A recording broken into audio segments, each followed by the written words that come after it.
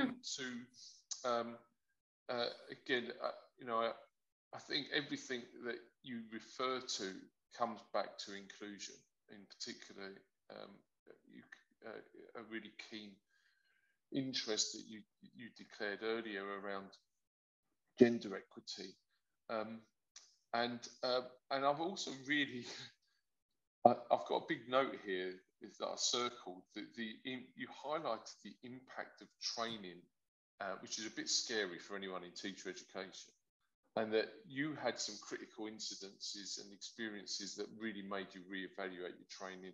And I take it at Brighton, uh, certainly my training was gendered, that men did certain activities, the women did other activities. I happened yeah. to dislocate my shoulder as a student, and that meant I couldn't go and do rugby with the men. So I was looking back, I was really fortunate because I spent um, uh, 12 weeks in additional dance with with the women, and uh, oh. it, it, helped me enormously in my in my career.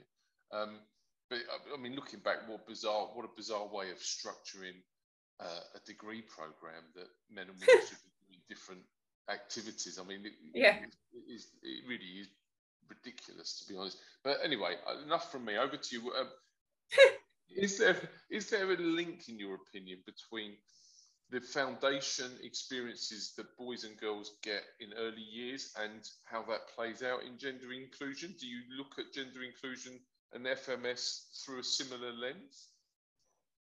Um, yes, I think so. I mean, uh, the, the, teachers that I work with, and even the lecturers that I work with in my consultancy role in FMS, um, and quite a few sport coaches as well, they had a, a, whole. You know, we all have them, but they they brought with them a whole a whole set of biases and prejudices and and uh, yes, some of those were based around um, gender and um, in i remember one of the first tasks that i would do with them was to give them a sort of multiple choice test where where it assessed where they were with with the learning of fms and i i we had a question in there um, that was uh, about the overarm throw or overhand throw, whatever you want to call it. It has two names.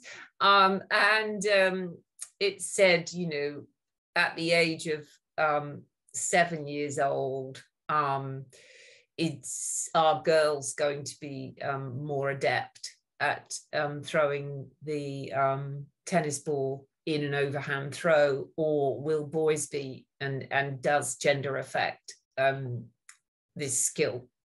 And so, you know, we used to sort of tease out all the different answers from that. And um, the amount of, I would say 95% of people who wrote an answer to that and then explained it afterwards in groups, they would always talk about how um, uh, girls were worse at, at throwing than boys and that this was natural. Now, as soon as you bring in the word natural to any context, as a sociologist, it's a disaster. Um, but it's certainly a disaster if you bring in na- it's natural for girls to be worse at overhand throw than boys at the age of seven. And so that would open up the whole can of worms about gender um, and also about how we as teachers can reinforce those uh, gendered practices and um, the construction of children as having certain fundamental movement skills outcomes because they were a girl, because they were a boy. Um, and so that, you know, that was always a very interesting um, discussion around it. And then we would we we would talk about um, how the lessons would would play out if they had those views, how their assessment um, processes would play out if they had that view and so on. So going in with that very, very biased, gendered lens of what you expect to come out of a particular skill-based practice on the overhand throw can of course influence and be a huge variable because you're giving different feedback to um, girls than you would to boys. Um, perhaps you're giving more support to the boys because you know they're going to be better. Um, and therefore, you have that kind of self fulfilling prophecy um, taking place and so on. So that that's the kind of discussions that we had. And I think some of them, you know, they say when you look in the mirror, sometimes you go, whoa. and I think for some it was it was a looking in the mirror moment. And they were just like, my goodness, I never even realized I had that, you know, going on. And so um yeah it's it's an inevitable part. And then we'd go on and we'd talk about the the notion of of you know nature versus nurture. And we talk about the sociocultural norms for girls in play-based contexts. And you know i mean for me for example i had three brothers. And so i was brought up to be just one of the crowd you know just joining in with everything physical climbing trees and jumping on bikes and mending bikes and you know that was part of my socialization process, how that affected my sport, um, sporty uh, nature was inevitable because I, I I grew up with a load of boys, you know. Um, whereas uh, you know when you apply it to other contexts, like my two daughters, um, you know, two girls, no boys' influence whatsoever, and they didn't grow up, so they ended up becoming far more interested in individual sports like cycling and running and dancing and and of course dancing um, and so on. Yeah. Yeah fascinating and uh, really interesting how you draw on your and apply your learning to so many different contexts and um, yeah we, you can't escape learning from our own experiences as parents um, it mm. perhaps a little bit. I always think that's a little bit problematic. I, you know, if I look at myself, I, I've probably become a much better educator generally since becoming a parent 20 yes. years ago. Um, mm. But then, of course, you know, there's many people who are fantastic educators who are not parents. So I'm not saying there's a there's a correlation there or causation. No. It's just, you know, it's just our route or my route, and uh, uh, you know those sparks that triggered thinking in in me and and um, so just as we come to the end of this conversation there's two themes that I'm really interested to hear hear your views on um, and they're I guess they're a bit heavier um, and uh, you know I'm always really wary as uh, someone who's you know recently left uh, working at a university and there's mm. so many conversations about the relevance and you know mm. research how does it impact on practice mm-hmm. and you know like yourself my my biases uh, academic biases and interests lean towards critical social science um, mm.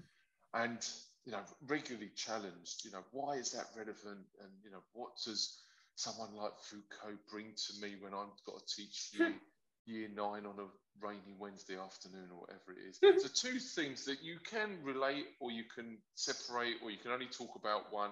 You've written a lot uh, and spoken a lot and you're present on social media really questioning what some call the healthification of PE or movement and that the body should be used or moved primarily to bring about better health, uh, which presumably impacts on big national issues like um, strain on the health service, quote unquote, stuff mm. like that. And and you mentioned earlier that your PhD was drawing on the work of uh, Michel Foucault. So um, why is Foucault relevant in PE, and or how do you see this healthification, and why do you think that that's a problem for you? Mm. Um, well, I think prior to my PhD, I only looked at Foucault. I did a master's in arts, a master of arts in dance, and we looked at, at Foucault and how how it played out in terms of the gendered body in uh, ballet and and so on. And so Foucault was always kind of bubbling away under the surface, and that was ten years after I'd done my undergraduate and so I always had a, a, knowledge of and interest in that uh, because I could see how it could could be linked to PE, but not many people use Foucault. Foucault is very very complex, and you've got to have a really good supervisor and a lot of time and energy to engage with Foucault's works, and then try to apply it to the body um, in physical education. But you know, I'm relentless on that level. If I feel as though it's got some relevance, I won't give up. And so um, I was very lucky. I, I actually didn't have PE supervisors for my PhD. I had two sociologists, and they were both very familiar with Foucault. And one of them was an expert on genealogy.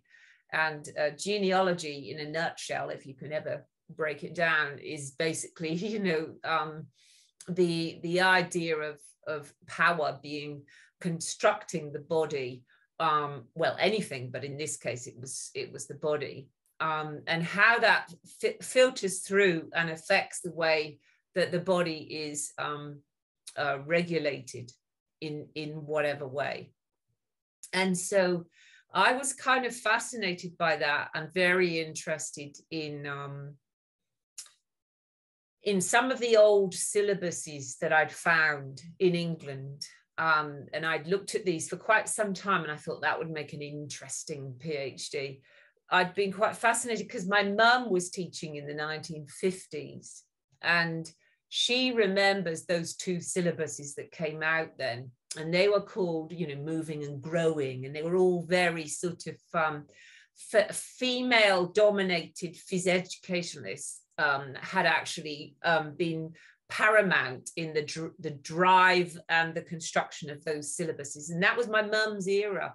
And so I, I grew up sort of a decade, two decades later in that era that it was still trickling through um, primary physical education, you know, being about movement and Rudolf Laban and the body being centralized and, and all of that. So that kind of child at the center of learning. So I know that that's had a huge influence. But these old syllabuses were very much um, health based. Um, PE was PT, yeah, physical training. Um, there were these pictures, you know, with these re- regimented um, sort of movements and and all, all the joints, you know, the, the minutiae of, of all of those joints being in a certain place at a certain time and the beats and the rhythms, and it was prescribed and functional. And it was all to get better posture, um, to improve the breathing in a person. Well, despite the fact that they all lived in slums, um, these poor little working class kids, you know, were, were literally dragged through this military training to try and improve their health. Meanwhile, you know, they, they went back home to dire circumstances. But hey, physical training can improve anything, can't it? So, um, with that in mind, when it came to the, the next set of syllabuses that I was looking at, which was um, there weren't actually many across 100 years, believe it or not. You know, you'd think there would be 50, 60, but there was only about 10 or 12 syllabuses. Not a lot, really. But the next set of um, syllabus be- looked at the body, but in a different way. And it became very much health governed. And I began to see these, these discourses of healthism coming in and i and i thought ah yeah yeah that's what was going on. When i was training in the 80s there was this big push wasn't there for health and fitness? And and then what came out of that was the national curriculum and the national curriculum became very activity driven with dance and gym and games in primary and then you had swimming and outdoor adventurous activities. Um, in uh, in the latter years of primary. So I could see this shift where it had gone from this very regimented um, health, physical training, posture, etc., to this flourishing child um, of the 50s um, that was Laban based. And then it moved into this, again, this quite prescribed healthism and and almost using PE as a, well, it was in my conclusion. I, I tore it to shreds. Um, it was using PE as a medium through which certain power driven messages from ruling authorities were embedded. And, and I looked at you know hundreds of policies around obesity um, and around the whole this whole notion of um, sport as well and competitive sport. And i began to see these you know these patterns of discourses. And um, and that's you know that's how we have ended up where we are now. So my research looked at 114 years and and mapped it across time but it didn't do it in this linear way. What it did was it started with the present which is what foucault calls um, history of the present and that's what um, genealogy is so it started with the present and it said, you know, what issues have we got? What challenges? What what really stands out as going on in PE now? And then I went in reverse. So I had four chapters and they went from contemporary right the way down to um, 1902, which was the, the first syllabus. And in that sense, it didn't have that chronological, this happens, this happens, this happens. It was going backwards in time and it was just pulling out these these discourses. And one of the things that i found over across the entire 114 years which came out in my conclusion in the end was that you know health was always a part of pe it's just that it was voiced and manifested in different ways. Um, and it started out as you know helping the poor little working class kids get healthier.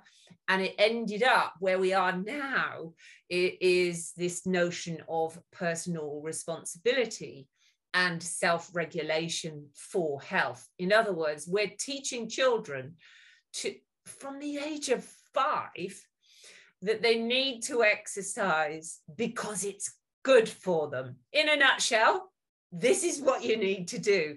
And so so that's sort of you know uh that's five years work. I've just explained in five minutes. Fantastic. What a bargain uh, for anyone listening and not even charging for it. That's wonderful. And god so much there. Maybe we need to jump on another call because you know the the um uh, the continuity and discontinuity in that narrative. Yes. And you know, you, you, you to start at the present, the as you say, the the ideological purposes of health have now gone to personal responsibility and agency, supposedly. Mm. Whereas 120 years ago, you know, I guess you know, there's there's PE historians who would talk about why why were people the late Victorians and early turn of the century people, why were they so bothered about the kids in the slums being a bit healthier? Yeah. And it's probably yeah. for military reasons that they could um, hold their yeah. own in, um, you know, after the Boer War, etc. So yeah, big influence uh, the military. Yeah, and also, and I would add in um, just just to say also because they want healthy little factory workers too. Exactly. Yeah. No, absolutely. And while at the same time, you know, the ignoring the structural issues, the causes of poor health. And yet yes. today there's so much talk about um, you know, personal responsibility, choices, something you know we could really problematize, make healthy lifestyle choices, while at the same time, you know, David Kirk's new book around precarity, you've got kids growing up in the most unstable environments, exactly. uh, high stress levels in the home and sadly, as we all know, food banks, cost of living crisis. So yeah. those same themes still seem to be lingering around, and that would mm. we we mm. maybe another time. And and you know why why should why should PE practitioners be aware of that? I think we could really dive into to, to that, and you know without sounding burdensome, because you know, there's so much to get your head around. Teaching is a complex and difficult job. Mm. So, you know, to throw in critical social theory, especially from someone who's not got that on their first degree or doesn't feel particularly comfortable in that area, typically, you know, mm. someone who's come from a sports science or fitness perspective, that really is very challenging, isn't it, to, to then understand a whole different discipline. Um, so yeah, let's save that. I'm really wary of the time. So Rachael, it's been an absolute pleasure talking to you and listening to you. And uh, thank you so much for your time. Oh, it's a pleasure. Thank you.